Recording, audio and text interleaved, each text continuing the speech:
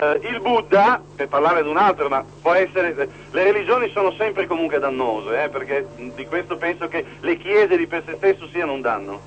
Sì, questo Ecco, sì. la- la chie- le chiese di per se stesso sono sempre qualche cosa che secondo me svia l'uomo dal suo farsi divino. Sì, sì, indubbiamente. Quindi eh, lo stesso Buddha comunque ride dei suoi discepoli perché piangono mentre lui sta morendo perché lo credevano immortale. Sì. E il Buddha praticamente li piglia in giro. E anche questo mi sembra così, abbastanza così. Poi un'altra cosa, eh, che mi, mi- è sempre molto singolare di come, ti, di come ti vengono girate queste cose. La Chiesa da tempo è contro, e lo dicono per televisione, è contro l'astrologia. È vero? Ed è contro l'astrologia proprio in maniera così. Questo non è contro ai maghi o ai ciarlatani o a No. sta gente qua, lo dicono a parole, poi non è che gliene freghi più di tanto.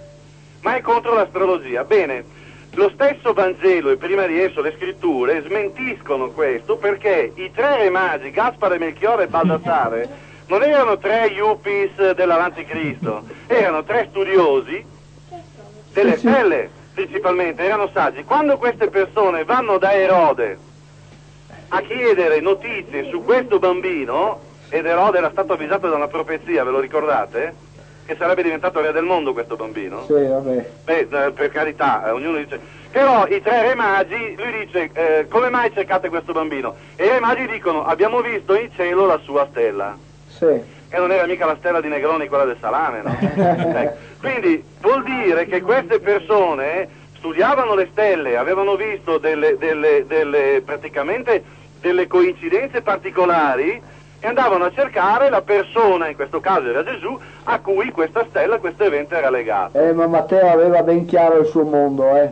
La Madonna. No, Ma- Matteo, Certo. conosce- Matteo conosceva bene il suo mondo. Perché non bisogna dimenticarsi che Matteo era un esattore delle tasse. Lui fa discendere Gesù da, da- da Davide, lui è che fa la genealogia. Chiaramente, ma voglio dire, non bisogna, non bisogna dimenticarsi che il Vangelo di Matteo è stato scritto da un agente delle tasse. Sì, e, e per, e per una comunità interna, Ecco. per una setta interna. E poi che comunque i Vangeli sono stati scelti, perché Marco, per esempio, è evangelista ma non era apostolo, e questo nessuno lo sa. Sì, e fu cacciato via da Paolo e nessuno ha mai detto perché. Come?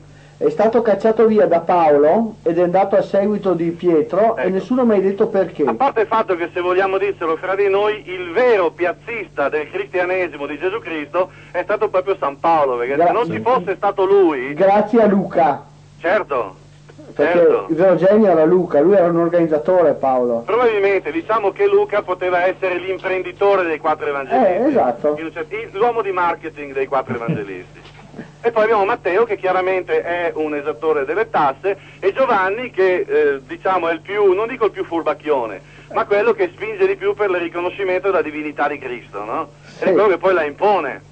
Ecco perché poi il Vangelo di Giovanni probabilmente è quello più... Eh, il Vangelo di usato- Giovanni deve combattere lo gnosticismo, deve combattere il Vangelo di Tommaso. Infatti, oltretutto, il Vangelo di Giovanni è quello che è sempre stato più usato come ariete dalla Chiesa Esatto. nei confronti dei Vangeli apocrifi, Esatto. che non sono per questo meno validi degli altri. No, no, ma eh, esiste, esiste un gioco di potere molto preciso. Certo, perché i quattro Vangeli sono stati selezionati, È eh? chiaro? e questo la gente non lo sa e la Chiesa non lo dice. Ovvio. Comunque sul discorso dell'astrologia abbiamo ben da dire. Sì, ma ricordiamo adesso ho un appunto che mi è arrivato in questo momento. Mm, Te lo leggerò per, per radio. certo, e ricordiamoci comunque che anche Gesù ha detto le sue bugie. Un'altra cosa, però poi finisco, scusatemi. Sì? No, no? Ecco, siccome praticamente lo si considerava onnipotente, Eh, ecco, lui ha due atteggiamenti perlomeno che non sono molto molto umani. Sì. Uno è quando praticamente scaccia i demoni dal corpo di un disgraziato e li manda dentro nei maiali. Sì, ma questo ne ha già parlato Francesco abbondantemente. eh. Appunto, i poveri cristi cosa c'entravano loro? Che poi i maiali in- fra gli ebrei non si sa bene cosa si facessero. Ecco, secondo, secondo c'era il discorso del fico, cioè Eh, il fico non dava frutti perché non era Guarda, stagione. che è un anno che mi sto scannando sulla questione del fico. Ah sì, ecco. Sì? E anche questo non è un atteggiamento dei più buoni. Eh beh, Oltretutto, se sei onnipotente, sei figlio di Dio, libera il poveraccio e basta, no? esatto. Ecco, tutto qua. Perfetto. Ciao, ragazzi. Ciao, ciao, ciao. Vediamo un'altra. Io ricordo sempre il numero telefonico che è 049 700 700. Pronto? Ciao, sono Simonetta di Rosà. Ciao Simonetta. Ciao, senti, eh, io vorrei fare una distinzione, c'è l'astrologia e l'astronomia. Una è lo studio dei pianeti, che è l'astronomia, e l'astrologia è eh, lo studio dell'influenza che può avere sul, sull'uomo il discorso planetario. Quindi la Chiesa non è contro l'astronomia, ma è contro l'astrologia, cioè sul discorso degli oroscopi, eccetera, eccetera. Cioè la Chiesa dice non dovete star lì a guardare l'oroscopo ogni mattina, farvi leggere la mano perché siete voi che vi create il destino, non dovete essere sottoposti a, a quello che vi dicono le cartomanti, eccetera. Conferisci su questo? Eh, ti lascio dire quello che vuoi. No, cioè io volevo precisare questa, questa cosa, non è che io difenda la Chiesa a sparatrata, però una cosa è Beh, l'astrologia. è meglio ascoltare un, un oroscopo che ascoltare il prete in chiesa. Eh, scusa, non sento. Cioè, È, e- È meglio ascoltare un oroscopo che non il prete in chiesa. Beh, eh, vabbè, su questo comunque eh, è tutto opinabile, però voglio Come dire, opinabile? lo studio dei pianeti è l'astronomia. Sì, sì, ma le cose sono molto più legate di quanto pensi, eh. Però Infatti tutta la scienza- dicono, tutta la eh, scienza medievale un'altra parta cosa, sem- cioè non è che uno possa dire i re magi hanno seguito l'astrologia, no, No, hanno ma infatti hanno seguito la bottiglia più che l'astrologia. Ma, scusa, ti sento poco. Sì, beh, ci sentiamo abbastanza poco. Sì, Comunque, di pure quello che devi dire, non ti ascoltiamo. Niente, dopo così una riflessione sentendo parlare quello- di quello che dici, no? quando mm, parli del, che l'uomo mm, di Dio verrà sulla terra prima che finisca questa generazione, non è che si possa intendere per esempio questo ciclo di generazione e di sviluppo dell'uomo come essere umano, cioè nel senso l'evoluzione biologica che ha avuto a livello... Queste sono le cazzate che vanno in giro per salvare il salvabile. L'importante no, è mettere in io- ginocchio chi non si può difendere. adesso, eh. No, no, ma vale per sempre, vale per qualsiasi cosa. Cioè, siccome eh, per esempio ho sentito adesso che i più, no, i più cattivi, come si può dire, i più pericolosi sono i testimoni di Geova, no? No, no. no, no, è il Papa, è la Chiesa Cattolica. Vabbè. No, siccome i testimoni di Geova ogni tanto ci- se ho l'occasione ci parlo assieme, no? loro predicano un regno praticamente di vita migliore, no? quello che praticamente doveva essere stato creato dall'uomo, non è che dicono che ci sarà la fine del mondo, ma ci sarà la fine di questo sistema di cose. Eh, per cui quando eh, si parla di questo regno si parla che eh, l'uomo praticamente penso che cade a- a- mm, sul discorso biologico, cioè ci sarà Senti, una disfatta dell'uomo a livello proprio d'accordo una cosa. come essere umano. Siccome ti sento poco, mi rispondi per radio? Sì, d'accordo, rispondo Ciao, subito. Ciao, grazie. grazie, ciao. Ehm, senti Simonetta, qua non possiamo permetterci il lusso di interpretare. Noi eh, quando parliamo di Gesù di Nazareth, noi parliamo dell'essere assoluto di quello che si spaccia per Dio creatore, figlio del Dio creatore, padrone del mondo, che sa tutto, che è la sapienza in persona. Questo lo dicono i Vangeli. Per cui è inutile giocare al gioco dei bussolotti, al gioco de- delle interpretazioni. Lui deve sapere esattamente cosa dice, perché se, se parla Socrate, so che ha parlato Socrate, è un uomo intelligente, un uomo più stimabile, però è un uomo, ma qui l'hanno spacciato come Dio, creatore, per cui non si può interpretare, ha detto stronzate e basta. Sì, ma infatti, eh, tanto per fare un esempio di come viene falsificata, Pronto? di come viene falsificata la storia, ad esempio noi accettiamo tranquillamente, Perdonami, sono Flavio, non voglio interferire. Solo una precisazione, mm, solo per, per- per- per- per rispondere a Simonetta, ma non è una polemica. Io non ho parlato d'astronomia, ho parlato chiaramente di astrologia. Poi, eh, che una volta chi studiava le stelle comunque era astronomo e astrologo ed era esattamente la stessa cosa, Sì. le due cose non si, Certo. non si dividevano e non si sono, e non si sono divise, non si sono divise che dopo Galileo, che guarda caso, proprio per i suoi studi di astronomia, stava per essere messo a rogo. È vero. Quindi, quindi per cortesia, stiamo un po' attenti di cosa parliamo, perché o sappiamo di cosa parliamo, facciamo meno. Primo, detto. Secondo, se- tutta la, la conoscenza dei re magi era la stessa che ha permesso, esattamente la stessa, va bene, a- ai babilonesi di fare studi sulle stelle e sugli ziggurat, eh, ai, ai- praticamente agli egiziani di costruire le piramidi in linea, molto meglio del meridiano di Greenwich e molto prima, con tutta la maggior parte delle terre emerse che ci fossero al mondo e così via. Quindi erano conoscenze che non venivano disgiunte, ma venivano utilizzate a seconda del caso, proprio in quanto la scienza di allora, per poter dare dei, dei risultati o poter dare delle risposte o d'altre. Ma le due cose non si sono separate fino a Galilei, l'hanno dovuto fare dopo gli astronomi perché sennò rischiavano di essere ammazzati dalla Chiesa. Vero? Confermo. Una piccola precisazione. Astronomia vuol dire dare un nome ai pianeti, l'astrologia vuol dire logos dal, dal greco che vuol dire discorso, seguire quello che le stelle, gli astri ti dicono. E quindi i re magi dicendo abbiamo visto la sua stella, hanno seguito quello che la stella ha detto loro su quello che stava avvenendo. Esatto. Tutto qua, scusami, No, non Ciao, preferisco più. Ciao. Eh, Dunque, scusa, Sì, scusa, allora il nostro amico intanto ha perfettamente ragione lui. Eh, in effetti ma- a Matteo, Matteo ha un bisogno, ha il bisogno di dimostrare alla gente, alla gente comune che quello era il figlio di Dio e per dimostrarlo fra le altre cose dice lo dicono anche i re magi, lo dicono anche i sapienti, perché? Perché eh, fra il suo popolo, fra, i- fra gli ebrei lui era un, era un idiota e, lui- e c'era, il mito, e c'era il mito della sapienza che veniva da Babilonia. Ricordiamo che eh, se, se gli ebrei sono venuti via da Babilonia ci hanno lasciati là l'anima, cioè l'anima, eh, l'anima che li ha generati è a Babilonia ed è in Egitto e sono anime pagane, non sono anime monoteiste. Ma comunque voglio leggervi questa che mi è arrivata, che è di Brian di Nazareth e che il monologo è questa. Eh, quando arrivano i re magi, la madre dei Brian. Lui che cos'è? I magi. Capricorno. Oh, e che tipi sono? Oh, lui è il Messia, il re dei giudei. Lo sono tutti i capricorni? No, solo lui. Ah, mi pareva, se no sarebbero in troppi. Questo è il dialogo nel film Brian di Nazareth. Eh, a proposito dell'arrivo dei re magi che poi gli fregano i doni a questa povera donna che è una capanna poi si sono accorti che sta è nato un po' più distante va Sì. bene detto questo vai Francesco Sì, ecco, volevo aggiungere una cosa che, che può essere interessante. Prendiamo ad esempio il caso dell'esempio dei, dei testi sacri della Bibbia. Esempio, la figura di Re Davide, ad esempio, non è dimostrato storicamente che sia esistita, cioè dal punto di vista storico non esiste nessun documento che dimostri che, sia avvenu- che ci fosse questa esistenza di questo re. Cioè, questo- di questo re non si è trovata nessuna documentazione storica, nessuna documentazione archeologica. L'unica documentazione che sembra, secondo interpretazioni, dimostrare la sua esistenza è una stella che hanno scoperto all'inizio di quest'anno in, in Palestina che sembra attribuire l'es- l'esistenza storica di Davide.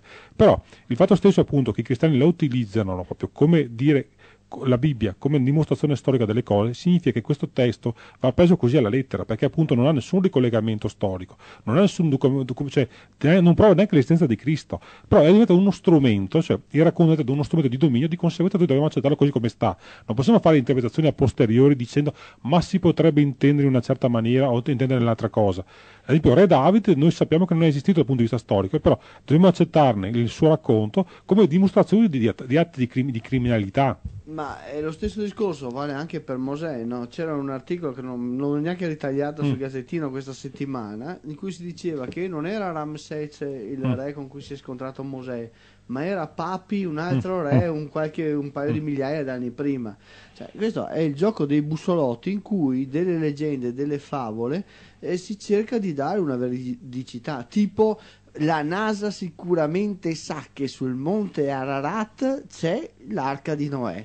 Ora si sa benissimo che questo è un, un- un racconto interregionale, interetnico No, ma- di frequente popolazione. Vorrei aggiungere una cosa, che eh, le- la CIA ha preso seriamente questa storia, è andata a verificare la Bibbia con le dimensioni delle loro fotografie, non corrispondono. cioè, cioè, no, no, dicevano, abbiamo- siccome la Bibbia dice la verità, dicono gli americani hanno preso la Bibbia come documento storico, con le nostre fotografie abbiamo ricostruito la presunta che ci sarebbe, che poi per loro son- pensano che siano roccia, allora gli analisti della CIA hanno detto chiaramente fa, la dimensione di, una- di un presunto oggetto che si troverebbe sul monte Ararat non corrisponde per nulla alla descrizione fatta dalla Bibbia, di conseguenza non può essere l'arca, la- l'arca, che tra l'altro quest'arca non è mai esistita perché è una sorta bufala dei cristiani, perciò vabbè, e purtroppo c'è chi ci crede come nelle barzellette e di conseguenza bisogna accettare anche questo, però questo è uno strumento che loro utilizzano moltissimo proprio per d- determinare qualsiasi no, cosa. Una notizia Francesco, eh. sai, non dobbiamo vederci solo sulle croci, mm. con le croci sopra, sopra, i monti, adesso in Cina cominciano a metterci Buddha da 88 metri. Pronto? Pronto? Marco. Ciao Marco. E a proposito avete parlato dell'arca di Noè, no? Eh, geograficamente eh, dove, si può situa- dove si trovava Noè al momento del diluvio? Cioè dove viveva, in che regione viveva? Ah, non te lo Quello so che, dire. su- eh, quello che subiva probabilmente tra il Tigri e l'Eufrate, no? Boh, non so. In quella non regione saprei. Non mi sono mai posto il problema, Marco. Ecco, perché... mm, Comunque il monte piaciuto- Ararat, da quello che ho capito io, dovrebbe essere fra i curdi, fra i curdi Sì, turchi, è molto più... per cui a sud della Turchia. è Nel molto confine più con la lontano Russia, sì, con l'Armenia, dal la luogo d'origine. Eh, naturalmente però sì, insomma, eh, con, le- con il diluvio le acque si sono alzate di molto sopra il- la terra e quindi avrà mh, girovagato no, quest'arca. Oddio, eh, adesso non pensate che io quello che dico sono disposto a metterci una mano sul fuoco, però eh, sapete perché volevo dire questo? Perché l'altro giorno eh, aiutavo mia figlia eh, a studiare storia e parlava appunto della regione del mm, Mesopotamia, del Tigre e dell'Eufrate. Erano fiumi che trasportavano parecchia acqua, Erano enormi. erano vicini e probabilmente a quel tempo succedevano delle grosse inondazioni. Per cui eh, due fiumi che si ingrossavano e quando insomma superavano gli argini queste acque era un diluvio veramente. Esatto. Prob- probabilmente magari è un fatto realmente accaduto ma che dopo insomma lo Guarda hanno- Marco che è stata ritrovata la stessa storia, no? Sì. La stessa storia di tipo arca Mm. eh, fra i babilonesi. Cioè le- nelle tavolette di argilla, no? Che hanno trovato negli ultimi 50 Sì, anni. sì. C'è la storia tipo arca. Mhm. Ecco, ne ho saputo ancora che... che- Se vuoi, io te, siccome ce l'ho a casa, Sì, sì. eh, tiro fuori e te la porto, insomma. Sì, ma nella storia ebraica c'è un, un mescuglio di, di- di- di- hanno preso un po' da diverse Sì, dai, religioni dei civiltà. fenici, degli egiziani, Sì, dei sì, hanno ricor- babilonesi. addirittura la Bibbia eh, sembra proprio, io al giovedì sera, per esempio questa sera, su Rete 9, seguo sempre l'avvocato Vacchiega che fa antropologia religiosa, una mezz'oretta, Eh, e fa delle spiegazioni ottime a proposito di, queste, di, proble- di questi problemi, eccetera, di tutta questa storia antica della Chiesa. E ha fatto una trasmissione una sera dove, dove dimostrava proprio che eh, la Bibbia, co- confrontando alcuni eh, reperti che hanno ritrovato, delle tavolette, eccetera, no? E praticamente la Bibbia quasi quasi sembra una trascrizione da, da- da que- da quelle culture, da quelle forme di religione che c'erano in popoli e in civiltà molto superiori a Ma sì, ma tanto in peggio però, eh. sì, sì. Dopo naturalmente anche all'interno del popolo ebraico eh, si Beh, è- erano dei cattivi copisti, copiavano male, deformavano parecchio. Sì. Però una cosa volevo dire, anzi due cose poi vi, vi saluto. Eh, a proposito della Simonetta di prima, mi sembra aver letto da qualche parte, però non ci giuro perché sono stato accusato anche di essere un falsario e di questo mi, mi onoro perché siccome non ho altri titoli e qualità mi tengo anche le cose negative e, le, e le faccio diventare positive. Ognuno si accontenta di, di quello che ha. Ehm, sembra che molti cristiani che ehm, erano, eh, avevano aderito al messaggio di Gesù e di, di San Paolo che poi insomma ha diffuso no? In- Sì. nell'area, in quell'area oltre alla Palestina eccetera la religione cristiana molti eh, prima di morire si sono allontanati da questa nuova religione perché proprio non si era realizzata quella profezia che dicevate voi che Gesù aveva detto che non passerà questa generazione senza che lui Ma perché pensi che a me mi abbiano attaccato così quando dicevo che era matto? Ecco, l'ho letto da qualche parte e molti se ne sono andati, non hanno più creduto perché non hanno visto con i loro occhi eh, avverarsi questa profezia. Però quello che sottolineava, eh, che mi interessava in quella frase, era che loro eh, attendevano più una- un cambiamento della loro vita quasi eh, materiale, non spirituale. infatti, ma Gesù promette, guarda che nei Vangeli ufficiali promette solo materialità, eh, non spirituale. Ecco, quindi loro si aspettavano di, di migliorare la loro condizione di, di popolo così, insomma, povero, sfruttato, oppure mh, che non potevano assolutamente mai migliorare la loro condizione sociale e speravano appunto che in questa profezia di Gesù si realizzasse prima della loro morte questo grosso cambiamento di, di tipo sociale, economico. Anche, anche mio nonno pensava a un cambiamento economico, infatti diceva da venì baffone, ma baffone non arrivava mai.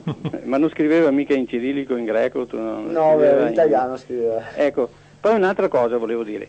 Eh, sarebbe possibile, e adesso mi riferisco direttamente a voi, che voi facciate una trasmissione completamente staccandovi dal discorso Chiesa, Vangelo, eccetera. Non è parlo- possibile. non è possibile. Non No. è possibile. Cioè voglio dire, mh, ecco, eh, perché vedo che la vostra trasmissione spesso, eh, voi eh, al limite con l'introduzione eccetera date un certo tipo di orientamento, un tema, no?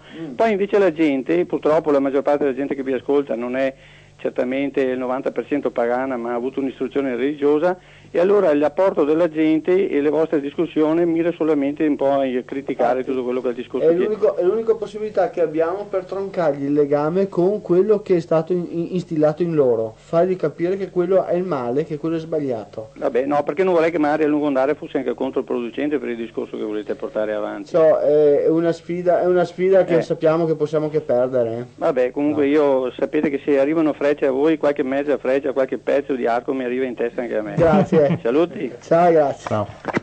Sì, beh, infatti io volevo anche ricordare che questo è l'anniversario, è il primo anno di trasmissione, anzi entriamo nel secondo... Un anno abbiamo trasmesso, per un anno abbiamo spanso veleno dei demoni e degli dei da questi microfoni, per un anno vi abbiamo instillato nel cervello le nostre nozioni, per un anno ci avete ascoltato, pensate un po', erano 1500 anni che ciò non avveniva, 1500 anni.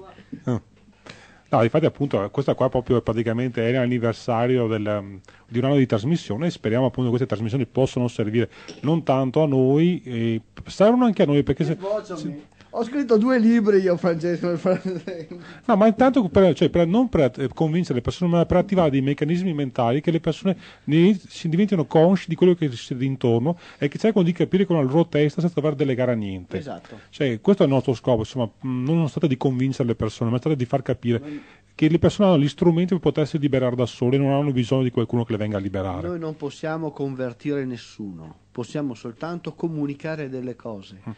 Davanti alla fede e alla violenza noi ci arrendiamo sempre, Francesco. Non possiamo, Sì, sì, ma infatti cioè, noi possiamo, contro la violenza possiamo solo proporre altre violenze, possiamo solo combattere. possiamo ritirarci, non, non possiamo fare neanche combattere. Sì, beh, sai, Sì. noi abbiamo uno spirito guerriero, finché possiamo Sì, combattere, vabbè. co- co- combattiamo.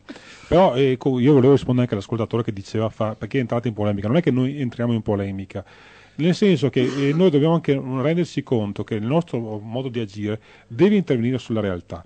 E dopo la realtà, eh, se esiste un inquinamento ambientale, cosa si cerca di fare? Si cerca di disinquinare, perciò uno cosa deve fare? Non può dire a me piacerebbe un, un ambiente pulito, bello, eh, mi piacerebbero i parchi, mi piacerebbero avere le acque pulite. Se tutto quanto è inquinato, l'opera che deve fare la persona è cercare di disinquinare questo qua. Prendiamo, prendiamo il discorso che stanno avvenendo in questi giorni sulla pedofilia, che sembra che abbiano scoperto adesso la pedofilia, che tanto ce l'hanno Sì, ma- sempre con me.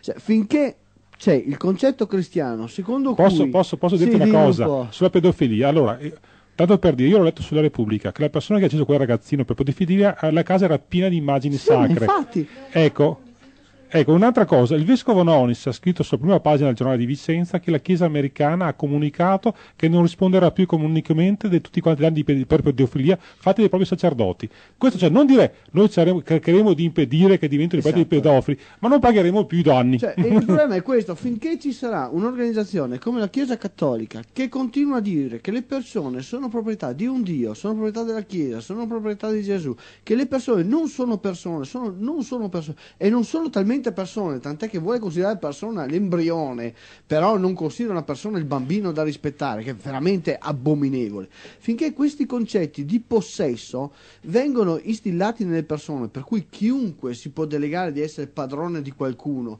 chiunque può stuprare il ragazzino perché io sono il padrone, sono l'inviato di Dio, io sono, Il creatore. sono più forte, so- mi sono quello. Cioè, finché questi concetti, che sono concetti cristiani, sono concetti cattolici, e il cattolicesimo si basa su questo, finché questi concetti non verranno fatti saltare, non si, si accorgerà che questo modo di pensare, questo modo di esprimersi è il male, è la perversione fatta persona. Finché non si pens- comincerà a pensare che sono gli adulti che devono essere educati, sono gli adulti che dobbiamo insegnare loro come guardare il mondo, come muoversi, non i bambini. I bambini crescono per immagine, per cui sono gli adulti che devono imparare ad affrontare la vita Bene, finché il concetto di possesso che il cristianesimo continua a instillare nelle persone con la violenza, perché costringe con la violenza a essere battezzati, costringe con la violenza... La sentenza di ieri della Corte della Cassazione che dice non potete imporre, non potete imporre a, a- chi non vuole la religione le materie alternative, cazzo, è per uscire dalla violenza che l'organizzazione cattolica impone agli altri di far più fatica, cioè chi non vuole fare religione, eh, religione cattolica a scuola deve far più fatica, che veramente è una violenza immane, è violenza immane che viene fatta ai bambini, a chi non si può difendere. Questo è il cattolicesimo, questo è il Gesù di Nazareth, questo è il Dio dei cristiani. Sì, mm, ricor- ecco, io volevo appunto... prossi- Beh no, caso c'è una telefonata, casomai ri- rispondo dopo. Sì, ciao. Claudio, ciao, Ciao. buongiorno Ciao. a tutti voi e, bu- e buona giornata. Grazie. Grazie. allora, eh, se mi permettete, dagli ultimi avvenimenti eh, che si succedono, eh, cosa devo fare? Niente, parla pure. Parlo. Allora, dagli ultimi fatti, gli ultimi avvenimenti che si succedono nell'area islamica, si comprende chiaramente che vi è una volontà politica che si avvale delle, diciamo, delle fasce più diseredate, delle- alle periferie delle grandi città o ai margini della società.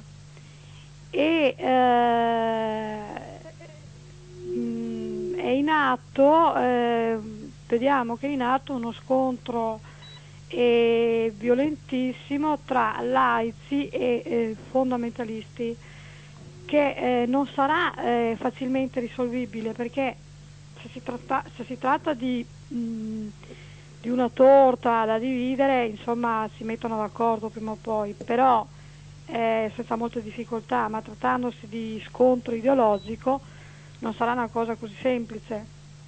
Eh, mi sentite? Sì, sì, sì. ti sì. sentiamo benissimo. D'altra parte eh, i fondamentalisti si fanno interpreti dei bisogni e delle necessità delle popolazioni più, più, più- più povere, eh, più diseredate e per contro, per co- anche perché nel Corano mi sembra che vada, vada predicato questo fatto della- dell'uguaglianza, della comunità, eccetera. E per contro eh, abbiamo degli stati laici eh, che più delle volte sono corrotti, più delle volte Certo. corrotti e non curanti dei bisogni di tutta questa, Questa questa massa. massa. di povera gente.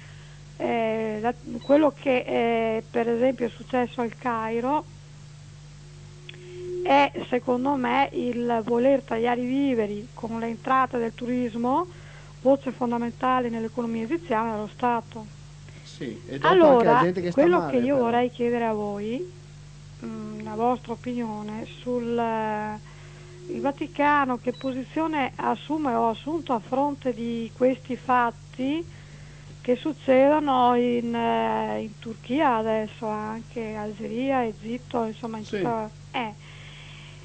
E poi volevo dire anche questo, prima di, eh, volevo dire questo, qualche mese fa leggevo che a Bologna era stata scoperta una base una centrale di, di- di- di- di- di- di, mm, di questi, di questi fondamentalisti e hanno trovato armi e cose di questo tipo, insomma.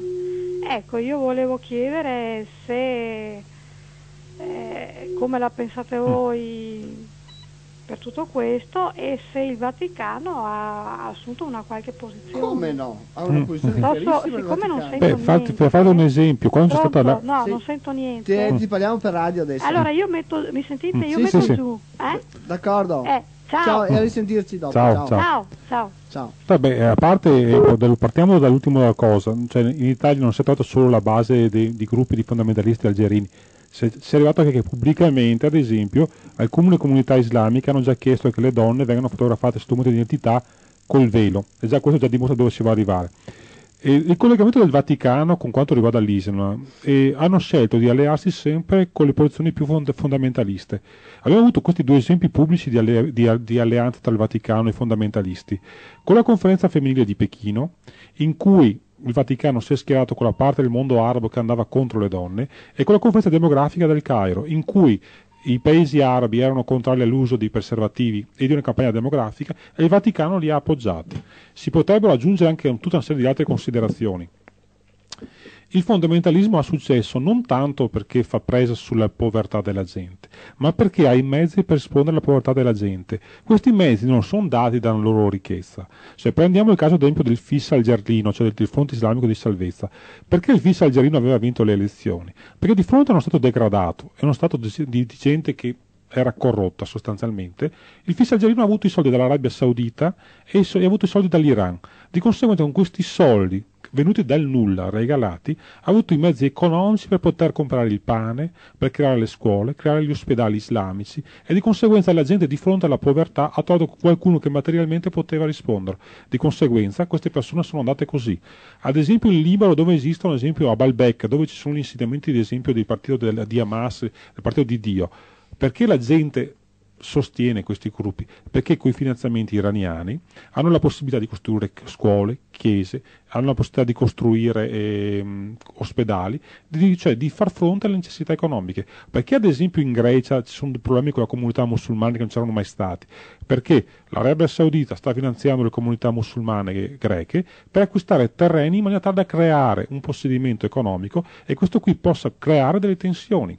Cioè, non è detto che il fondamentalismo vada avanti soltanto perché ha la forza delle idee. Il fondamentalismo va avanti nel, nel mondo arabo perché esiste un governo corrotto con l'appoggio occidentale e va avanti perché ha i mezzi economici, economici dati dall'Arabia Saudita e da altri paesi come l'Iran che permette a tutti quanti i gruppi islamici di avere un finanziamento e su questo qua poter intervenire sulla povertà della gente. Cioè la gente non va con loro per convinzione ideologica o convinzione, religiosa, ma va perché hanno la possibilità di venire incontro a delle necessità economiche immediate e di conseguenza Avendo questa possibilità di aggregazione, il Vaticano ha sempre scelto di essere dalla parte più restrittiva dell'Islam. Il Vaticano appoggia tutto il terrorismo fatto nei confronti dei poveri e invece combatte tutto il terrorismo fatto nei confronti dei potenti e dei ricchi.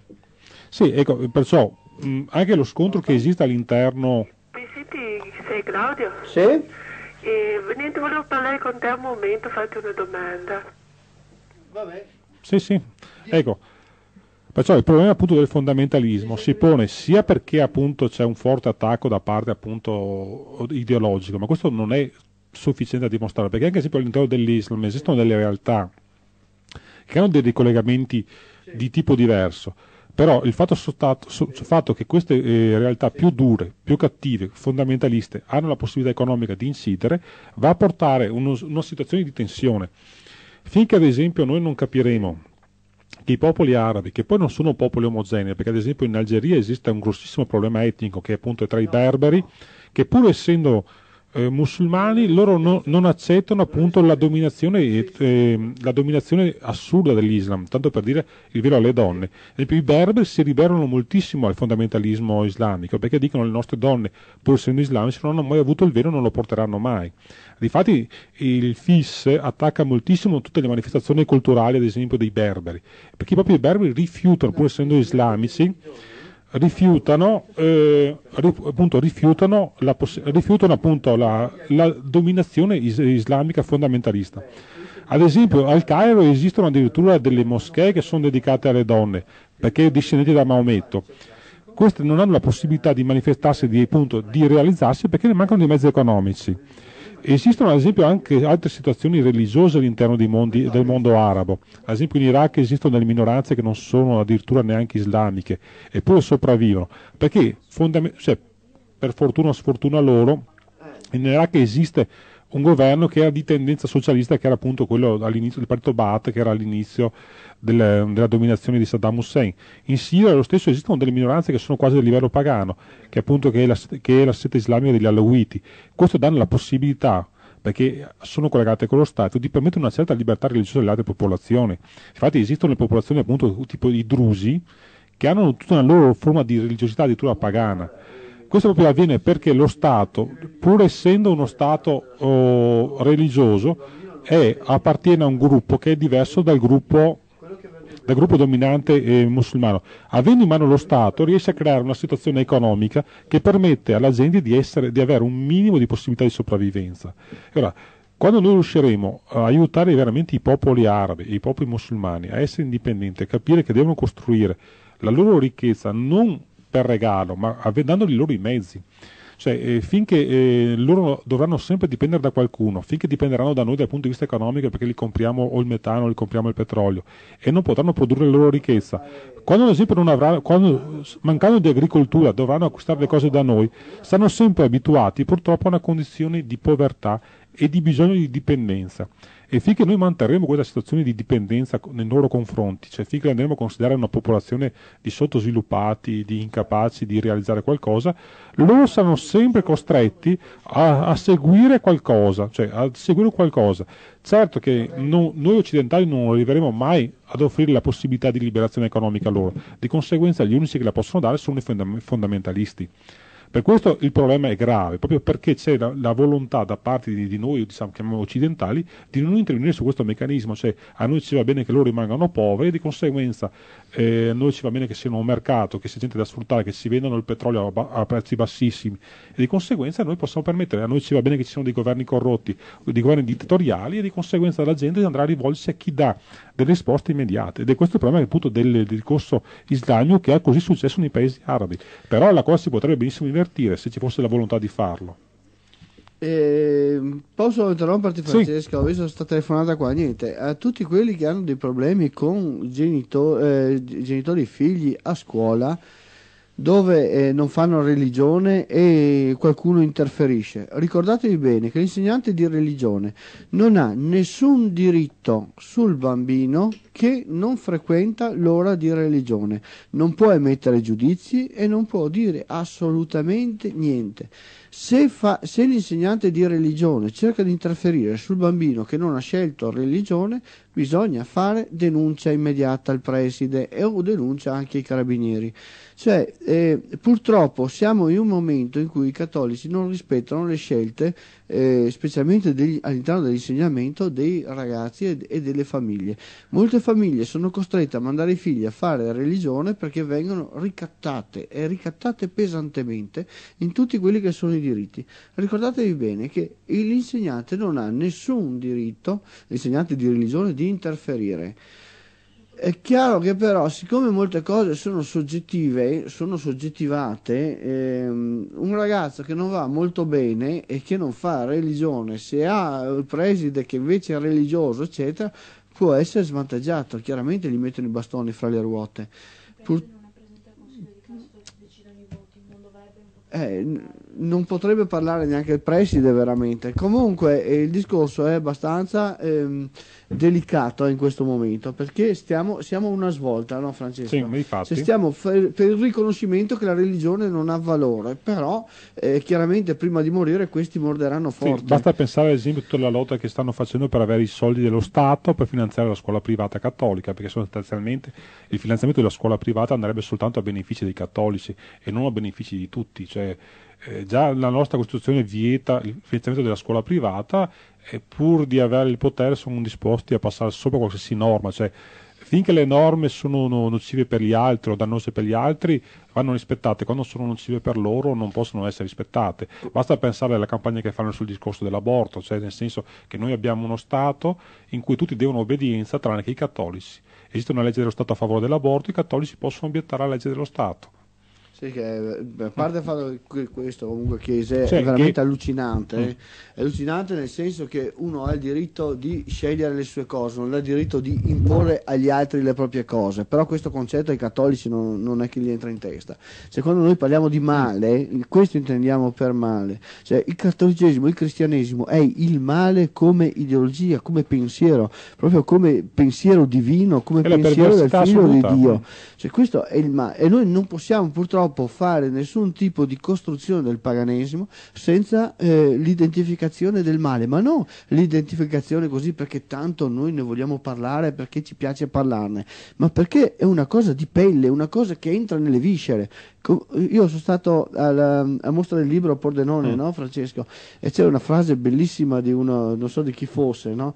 Dice che le parole non sono tutte uguali, alcuni le tirano fuori da- dalla, da- dalla giacca del soprabito, no? E altri invece le tirano fuori dalle viscere. Mm. Per cui per noi il male, il cattolicesimo appartiene a una cosa veramente viscerale. Senza, senza la distruzione del male non si può distruggere la miseria, non si può costruire un sistema sociale.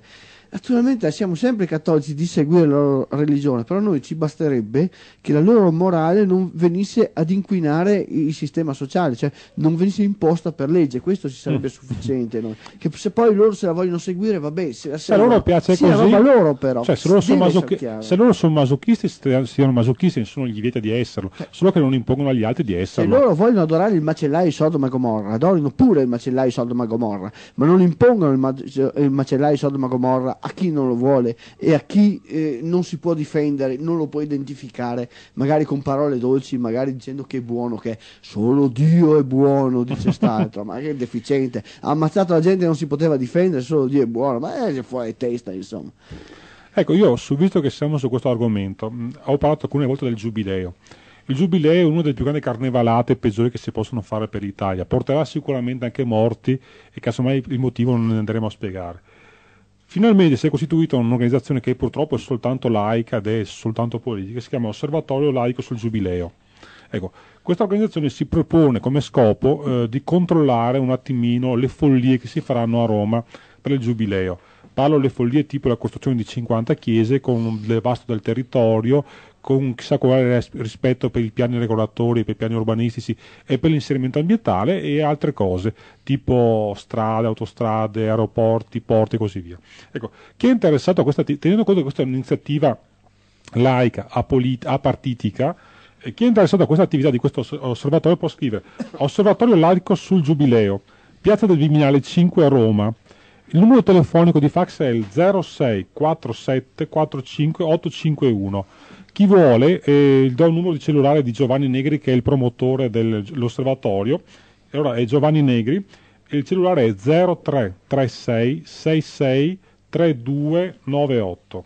Ecco, eh, questa è un'iniziativa a cui hanno aderito già parecchie persone, tanto per dire, per fare alcuni nomi, ha aderito Alberto Ronchey, ha aderito François Revel, ha aderito Guido Ceronetti e così via. È un'iniziativa che appunto si propone di controllare come andranno spesi i 7 mila miliardi che fino a questo momento sono stati stanziati per il Giubileo. Il Giubileo io lo, re- lo reputo una Oh, distruzione... manovra di 4 mila miliardi sulle pensioni e 7 mila miliardi spesi per il giubileo. a questo eh, momento, eh, a questo momento cioè, non è ancora arrivato il 2000 perché appunto si parla di 7 mila miliardi dati dallo Stato più dopo quelli che verranno spesi dai comuni e quelli che verranno a costare cioè, mh, nel senso quello che verrà a costare in, in corso di viabilità di pericolo di circolazione cioè tantissime cose al di là dello squallore religioso proprio. Ultima telefonata. Pronto? Ciao. Ho sentito un attimo il discorso di... sì, un attimo, sono sempre qua che vi sì, ascolto. nessun problema Altro che attimo.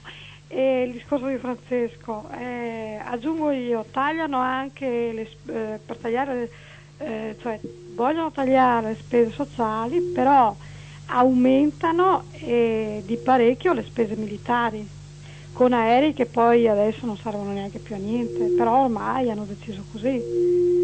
Basta Pro- che possono pronto? sempre servire per la- se l'Albania ci attacca. Sì, va bene, volevo fare... Beh, ma basta pensare che abbiamo ancora nell'aviazione gli F-104 che erano chiamati le fabbriche di vedove o le bare volanti, tanto per sì. dire una cosa, insomma.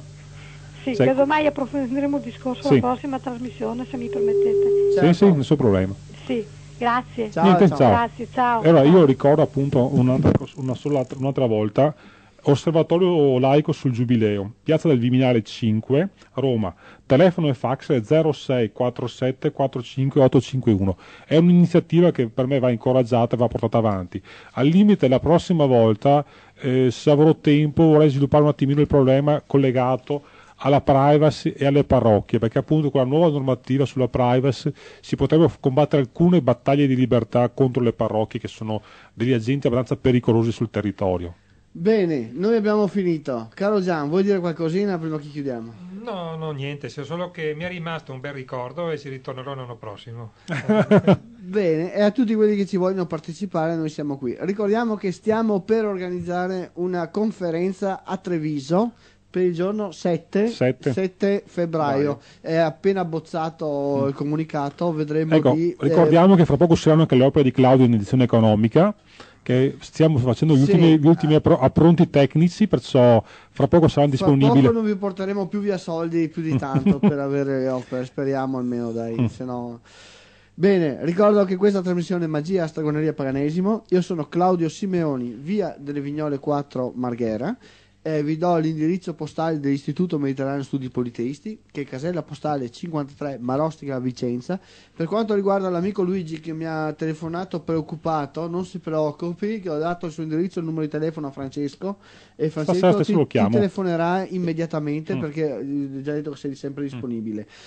Dunque, eh, noi chiudiamo qui la trasmissione, ci risentiremo la prossima volta, parleremo, continueremo il programma dei pagani, sarà un'introduzione sempre che continuerò il discorso sulla tensibilità di Castaneda, tanto per chiarire l'importanza del la centralità del paganesimo rispetto alla, rispetto alla stregoneria, cioè rispetto a qualsiasi cosa che può, mh, che può portare all'individualità, cioè a chiudere l'individuo su se stesso anche se a volte non è possibile fare diversamente. Eh, chiudiamo qui la trasmissione, ci risentiamo giovedì prossimo alle ore 15, 15.15 fino alle ore 16.30 e vi ricordo che io sono ancora in radio fra le 19 e le 20 a leggere il libro dell'Anticristo. E oggi comincerò a leggere quel lungo capitolo che è la- il capitolo sull'attenzione, che è il capitolo centrale di ogni percorso di stregoneria. Bene, a risentirci allora alle ore 19